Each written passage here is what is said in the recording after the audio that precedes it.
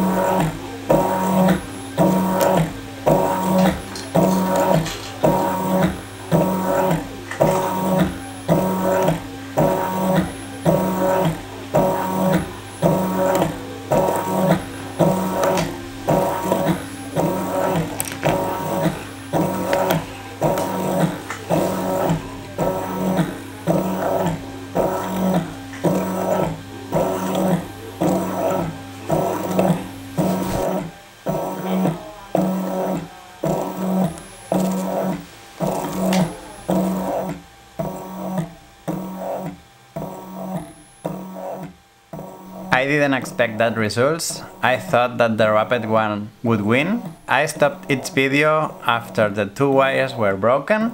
I tried to make exactly the same with each wire. All the wires were from the same coil and it had 1 millimeter in thickness. It's interesting to know that in this one, the first wire broke at 46 turns and the second one lasts longer than 100 turns. I think that between 5 and 10 turns for a piece of 15 centimeters, it's the sweet spot for twisting wire. The twisting should look like this. Of course, if you twist a lot of wire, it gets damaged. But just a bit, it's okay. That's it for this test. I will keep twisting wire for my puppets. If you don't over twist the wire, you will be safe. And it's way faster than wrapping. Two persons following this channel will receive those two rigs. Do you remember the giveaway?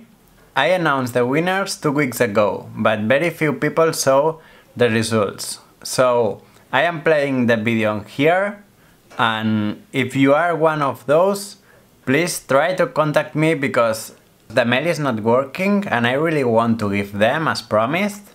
If not, I will pick new winners and other people will have a chance to get them. Thanks for watching and enjoy your time.